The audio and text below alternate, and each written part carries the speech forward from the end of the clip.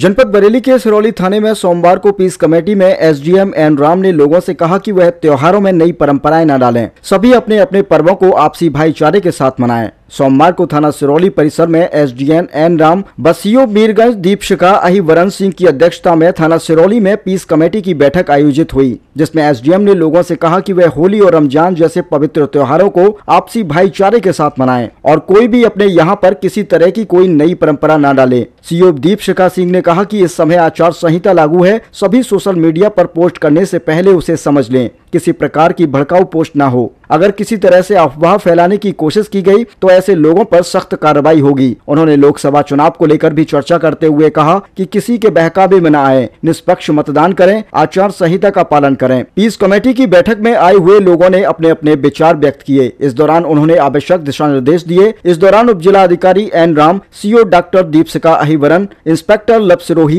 inspector अपराध प्रमोद कुमार, थाना बड़ा गाँव, चौकी इंचार्ज दीपक कुमार उप निरीक्षक राजकुमार सिंह उप निरीक्षक सत्यवीर सिंह पुडीर, हिंदू रक्षा दल के जिला अध्यक्ष आशीष कठेरिया, सिरोली चेयरमैन पति अशफाक सकलेनी, सभासद चंदन माली राम बाबू कोरी सभासद, कबीर अहमद, संदीप गौर, सभासद शेखू, सभासद विजय, पुनीत कुमार गुप्ता आदि लोग मौजूद रहे। सिरौली से संवाददाता रामू कठेरिया की विशेष रिपोर्ट।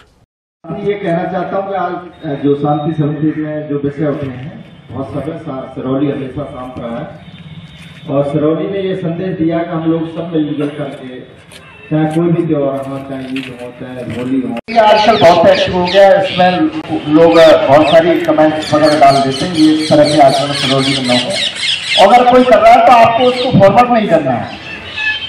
आपको संबंधित थाना सेक्रेटरी को बताना है या सी साहब बताना है हमको बताना है फलाना व्यक्ति सब इसको समझा दीजिए बुला विशेष का ध्यान रखिएगा। काफ़ी सारे रूल्स और रेगुलेशन में चेंजेस आए हैं। जहाँ जहाँ जुलूस निकलना है। डीजे को लेके एक स्पेशल दिशा निर्देश दिए गए हैं। दो स्पीकर के ऊपर नहीं रहेगा। अगर आप बाहर से कहीं भी डीजे बुला रहे हो, कोई भी तो आपको पहले थाना प्रभारी को सूचित करना है। नहीं तो आपका डीजे कॉन्फिस्केट करने का हमारे पास पूरा राइट है। तो बाद में ये ना हो कि आपका त्यौहार खराब हो रहा है। मैं हमेशा बोलती हूँ, त्यौहार सही से मनाना आपकी ज़िम्मेदारी है। हमारा काम आपका त्योहार मनवाना नहीं है। हमारा ये है कि अगर आप लोग विवाद करेंगे तो हमारी कार्रवाई करना काम है। इसलिए मैं आपको पहले से ही बता दे रही हूँ डीजे को लेके देखिए आजकल बहुत विवाद कर रहे हैं और उसकी एक हाइट भी निर्धारित कर दी गई है। ऑनलाइन आपको शासन आदेश मिल जाएगा। तो इस चीज़ का विशेष ध्यान रखिए। एक बार आपकी ज़िम्मेदारी है कि आप अपने रूप को देख लीजिए। जो दिक्कत आए आप हमारी नॉलेज में डालिएगा। खुद से कोई कार्रवाई नहीं होगी, आप गाँव पे बिल्कुल ध्यान न दें। सबसे बड़ी दिक्कत इधर यही आती है, आज भी एक लगभग एक सवा साल से आप लोगों को बोलते आई हूँ, तब भी। आप को सुन के तत्काल आ जाएँगे और सारी भीड़ लेके आ जाएँगे।